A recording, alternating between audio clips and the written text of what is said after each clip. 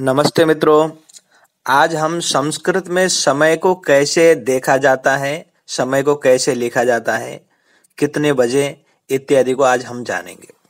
संस्कृत में समय को लिखते हुए कुछ चीज़ें आपको बहुत जानना ज़रूरी है। जैसे संस्कृत में जैसा लिखा हुआ होता है, वैसे उच्चारण नहीं होता है। जैसे एक तीस लिखा है तो आप एक तीस बजे नहीं कहते हैं, जैसे हिंदी में भी तो वैसे ही संस्कृत में भी ऐसा नहीं कहा जाता है। और दूसरी बात आपको समझना यह है कि अंक का जो स्वरूप आपने पढ़ा है और सुना है, वैसे आपके समय के साथ लगेंगे नहीं। जैसे एक बालक, एक बालिका आपने पढ़ा है, किंतु उस प्रकार के शब्द अब समय को लिखते हुए नहीं लगा सकते। उनके स्थान पर संख्या के मूल शब्द उनको लगाना है। वो मूल शब्द आपको केवल बारह ही याद करने हैं। चलो, गाते हुए उन बारह शब्दों को याद कर लेते हैं। एक, द्वि, त्रि, चतुर पंच षड, सप्त, अष्ट, नव दस एकादश, द्वादश, बस इतना ही। यदि परीक्षा में केवल दस से ग्यारह या पाँच बजा हुआ दिखाए तो आपको कुछ भी नहीं करना है, बस। आगे वादनम वादने इत्यादि आपके प्रश्न पत्र में ही लिखा होगा। आपको यहाँ से आपने जो बारह शब्द याद किए हैं, उनमें से एक शब्द जैसे सात बजा है तो आप सप्त उठाएँगे और सप्त को ले जाकर जोड़ देंगे, काम पूरा हो गया। आगे वादनम वादने जो है, उसको आप जोड़ दीजिए। जैसे पाँच बजा है तो पंच को उठाया और जोड़ दिया। पंच वादनम अथवा पंचवादने पंचवादनतः कुछ भी होगा प्रश्न पत्र में, वैसा ही हो जाएगा। अब इतना तो हो गया आपको वादनम तो आप लगा सकते हैं, लेकिन सीधा सरल नौ बजा, दस बजा, ग्यारह बजा, ऐसा तो प्रश्न पत्र में नहीं भी आ सकता है। तो उसके लिए आपको और पाँच शब्द याद करने अभी आपने बारह शब्द याद किए, एक से लेकर बारह तक अंक।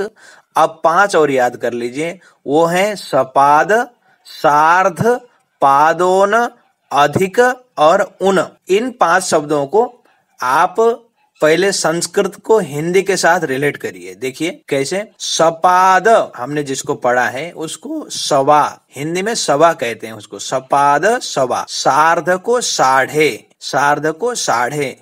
और पौने को पादोन, अथवा पादोन को पौने। जब भी आप परीक्षा में लिखते हैं तो समय के बाद सेंटेंस में वादनम या वादने अपने आप जुड़ जाता है। इसके लिए आपको अलग से जोड़ने की ज़रूरत नहीं है। पहले ही कहा जा चुका है। केवल उसके जगह में डैश लगाना है। यानी पड़ी लकीर, छोटी सी लकीर आपको जोड़ना है। जैसे देखो, यहाँ बारह बजकर पंद्रह मिनट लिखा है। इसे हिंदी में सवा बारह कहा जाएगा। तो संस्कृत में सपाद द्वादश लिखें। आपको सपाद लेने के बाद डैश लगाना है, फिर अंक के स्थान पर द्वादश लिखना है। इसी प्रकार अन्य एक से लेकर बारह तक होंगे। जहाँ साढ़े का आंकड़ा समय में दिखे तो सार्थ जोड़ दो। जैसे साढ़े पाँच सार्ध पंच। अब पौने को देख लेते हैं। पौने को संस्कृत में कहा क्या कहा जाता है? पादोन पादोन पौने। अब पौने छह कहना है तो क्या होगा? लिखा मिलेगा पाँच पैतालीस। अब यहाँ ध्यान रखना है कि पाँच बजकर पैतालीस मिनट बीत चुके हैं। अतः यह केवल छह के करीब हो गया। लिखते या बोलते समय हम पौने छह कहते हैं। उसी को संस्कृत में पादोन सट कहा जाएगा।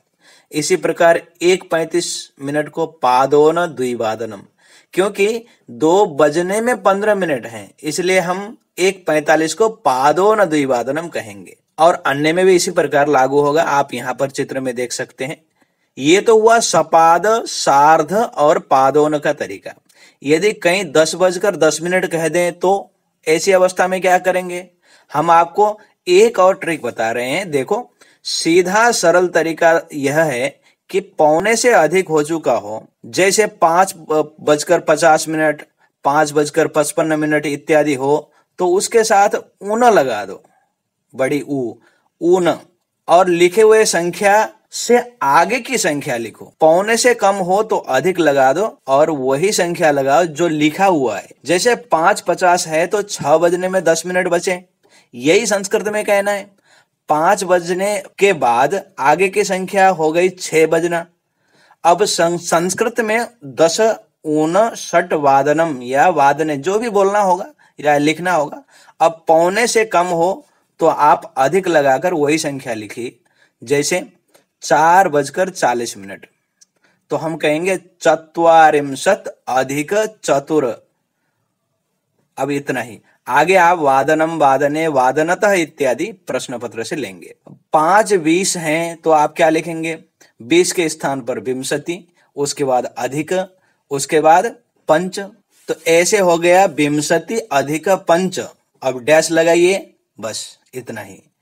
ये तो हुआ परीक्षा की दृष्टि से। अब आपसे कोई पूछे कि कह समय या इदानिम कह समय, ऐसे कोई प्रश्न पूछता है तो आप क्या लगाएँगे उसमें? ये बताते हैं आपको। कैसे बताएँगे? उत्तर। जैसे अगर आपसे कोई सीधा प्रश्न पूछ रहा है कह समय तो आप कहेंगे इदानिम सप्तवादनम सार्ध सप्तवादनम वादनम द्वादश वादनम इत्यादि। आगे वादनम जोड़ेंगे। अब मैं इतने बजे यह काम करूँगा, करूँगी इत्यादि के लिए वादने लगाएँगे। जैसे सार्ध सप्तवादने अथवा सपाद अष्टवादने अहम विद्यालयम गच्छामि अथवा पाठम पठामि अथवा सपाद सप्तवादने अहम गृहात आपणम गच्छामि इत्यादि।